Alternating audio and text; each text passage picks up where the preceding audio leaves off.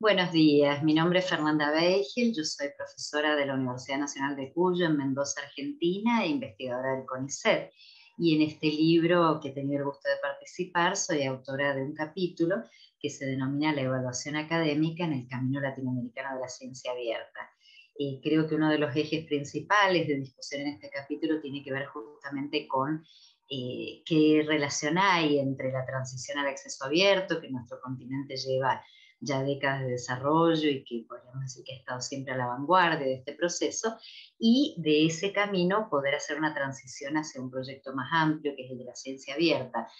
En principio, lo, más importante de esa transición y lo que se analiza en este capítulo es que está enfocado en torno de los temas de evaluación porque eh, tanto para el acceso abierto y para estimular la visibilidad del conocimiento que se produce en nuestra región y se publica en revistas de nuestra región o libros, uno de los asuntos principales es qué peso tienen esas publicaciones en la evaluación de trayectorias de instituciones académicas de todo el, el continente. Por lo tanto,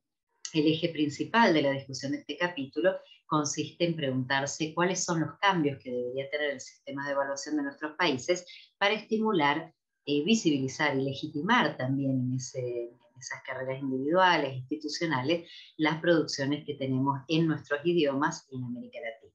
Así que creo que sobre esa base finalmente el capítulo lo que aborda es eh, los tipos de indicadores que deberíamos tener para estimular este camino y entre ellos se plantea fundamentalmente la necesidad de contextualizar los indicadores, diversificarlos de acuerdo a la situación de cada país o incluso de cada institución eh, y, eh, principalmente orientarlos a un acceso abierto y una ciencia abierta en el camino no comercial. Muchas gracias.